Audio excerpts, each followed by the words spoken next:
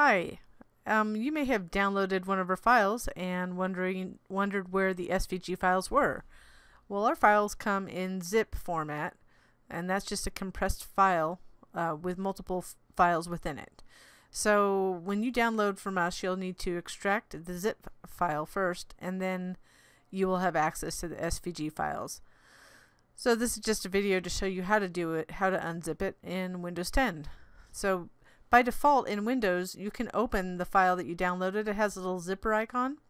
You can double click on it to see what's inside, but it won't be workable at this point. So we need to uncompress them. So to do so, there's two options. When you have it highlighted, go ahead above here in Windows Explorer and select Extract, then Extract All.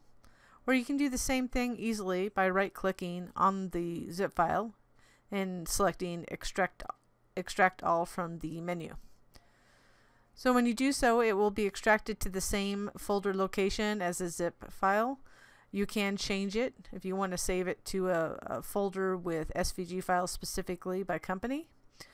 And then the little check mark if you want to see the extracted files when it's completed, you can keep that checked. Then click extract. So here now you have the extracted extracted uh, folder and you see all the files within it. And there's an SVG files folder as well. So that's how you get to the SVG files. And um, you can safely delete the zip file at this point if you're going to save it. It's up to you but it's essentially the same once you unzip it. That's it. I hope it was helpful. Thanks